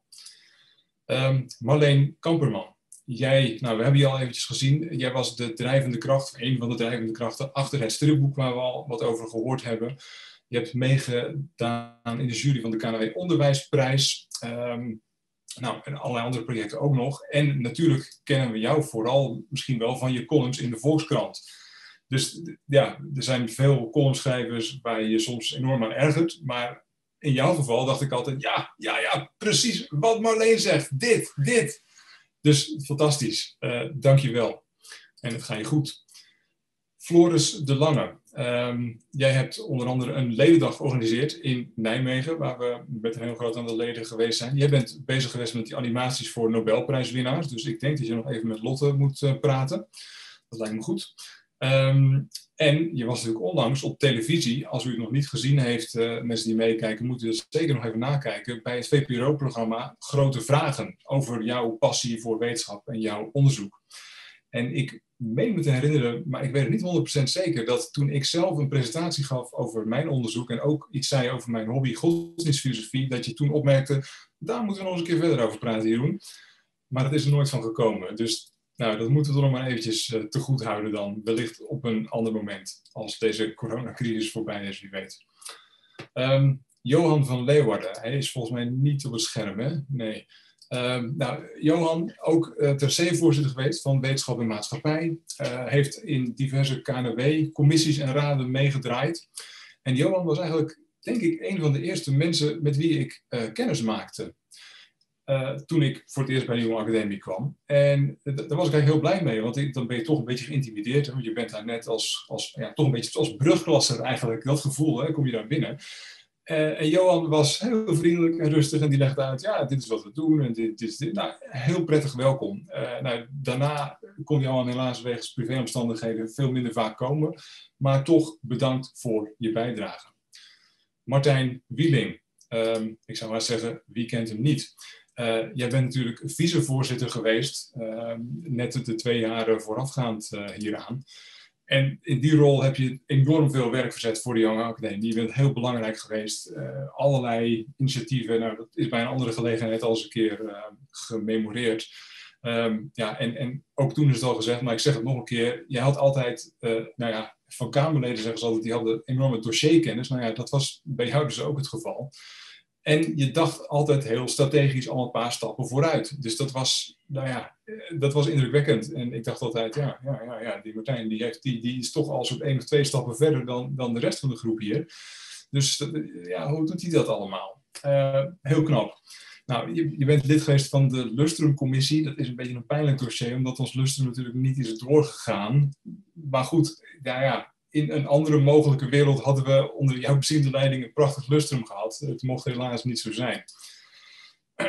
nou, um, als er nog een lustrum komt, Martijn, dan, ja, dan ben jij in elk geval uitgenodigd. Dat beloof ik je alvast. En jij was ook natuurlijk betrokken bij de stripboeken. Daar had je zelf ook al ervaring mee over je eigen onderzoek. Dus Martijn, ook ontzettend bedankt voor al het werk dat je hebt gedaan. Jan-Willem Vening, Um, leuk dat je vanavond toch even bij kan zijn. Je bent natuurlijk heel snel nadat je lid werd van de Jonge Academie uh, naar Zwitserland vertrokken. Nou, dat was jammer voor ons. Maar toch, je hebt eigenlijk uh, via mail en via de, de, de roemruchte appgroep ook nog van alles altijd wel bijgedragen. Dus ik heb dat wel gewaardeerd. En wat ik ook heb gewaardeerd was de treinrit die wij een keer samen na het ledenweekend naar het vliegveld hebben gemaakt. En daar hebben we eigenlijk heel leuk zitten praten. En ik heb toen, ja, mijn ogen zijn toen een beetje opengegaan voor een hele andere manier van onderzoek doen. Uh, als filosoof uh, weet je dat lang niet altijd. En daar heb ik altijd nog hele positieve herinneringen aan. Dus één ding, ik noem ik even heel kort. Jij zei, ja, we zijn bezig geweest met een overzichtsartikel. Er was enorm veel werk. Daar zijn we denk ik al wel een half jaar aan bezig geweest. En ik dacht, gut, een half jaar een artikel schrijven, ja, dat, dat doe ik eigenlijk altijd. En bij ons is altijd enorm veel denkwerk en moeilijk gedoe. Dus ik realiseerde me toen, ja, weet je, andere vakgebieden, andere regels. Heel interessant. Dankjewel, Jan Willem. Raf de Bond als laatste. Uh, jij was een van de mensen die die Beginner's Guide to Dutch Academia mee heeft getrokken en geschreven. Ontzettend waardevol document. We krijgen daar nog altijd veel positieve reacties op. Dus dat is echt een hele concrete, goede bijdrage geweest. Die workshop over politieke dieren noemde ik al even. Um, Open Science ben je mee bezig geweest. Platform Open Science namens de Jonge Academie ingezeten. En ook jij hebt die jury van de onderwijsprijs gedaan. En uh, van jou herinner ik me dat we, dat had niks met de Jonge Academie te maken, maar we zaten samen in een VENI-commissie. Nou voor degenen die daar wel eens mee te maken hebben gehad, dat zijn toch altijd een beetje wonderbaarlijke ervaringen. Maar ik heb toch heel positieve herinneringen daaraan. Uh, jij deed het altijd op een heel bescheiden manier, maar wel op zo'n manier dat mensen naar je luisterden. Dus respect daarvoor en ook jij hartelijk bedankt. Oh, gelukkig Marieke, ik zie dat je er toch bent. Um, ja, goed zo. Ik had je net niet uh, in beeld gezien. Goed, um, leden van de Living 2015, hartelijk bedankt en het gaat jullie goed. We gaan afsluiten. Um, mag ik de mensen, de nieuwe leden, ook nog uitnodigen om hun camera aan te doen. Dan wordt het echt een feestje hier in beeld. Ik hoop dat iedereen zijn computer er nog aan kan. Ik wil kort, we zijn al iets over tijd, dus ik hou het echt kort. Ik wil kort even wat mensen bedanken. Um, uiteraard de, um, de president van de KNW, Ineke Sluiter. En ook Andrea Evers, jij hartelijk bedankt dat je deze avond in goede baan hebt willen leiden. Uh, het was, uh, dat hebben we allemaal kunnen meemaken, niet helemaal eenvoudig, vooral aan het begin, even zoeken. Maar het ging uh, naadloos en vlekkeloos. Dus dank je wel daarvoor dat je dit wilde doen. Um, de tien nieuwe leden, Tim, Thijs, Carvan, Lisbeth, Lisbeth, Mariam, Lotte, Linette, Hilde en Tom. Wij zien uit naar samenwerking met jullie. Heel fijn dat jullie nu echt officieel geïnstalleerd zijn. Bedankt ook aan de KNW voor het mogelijk maken en ondersteunen van de Jonge Academie. En vooral daarbij ook dank aan de ruimte die jullie ons altijd geven om onze eigen weg te gaan, onze eigen gang te gaan. Ook als die gang soms wat, uh, wat wilder is dan jullie misschien voor ogen hadden. Uh, het feit dat jullie die ruimte bieden, dat uh, geeft toch wel blijk van vertrouwen en van echt leiderschap.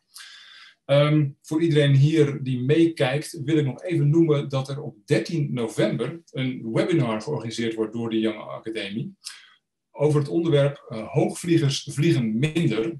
Dat draait dus eigenlijk om de vraag hoe we nou ook als corona straks hopelijk voorbij is, minder kunnen blijven vliegen in de wetenschap. Om zo onze voetafdruk, ecologische voetafdruk te verkleinen. Dus informatie vindt u op het Twitter-kanaal van de Jonge Academie en ook binnenkort op de website. Kunt u zich gewoon voor aanmelden.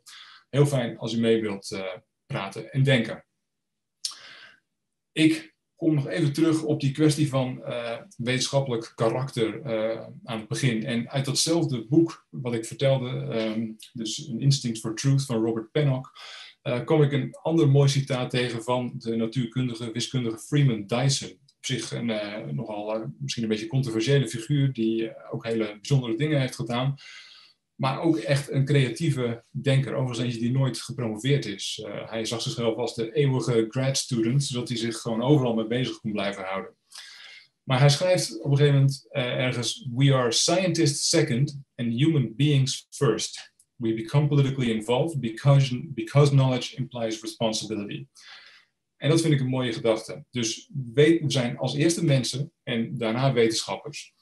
En als mensen hebben we verantwoordelijkheid om nou ja, ons bezig te houden met de dingen die, de dingen die op ons pad komen, die uh, op onze weg liggen.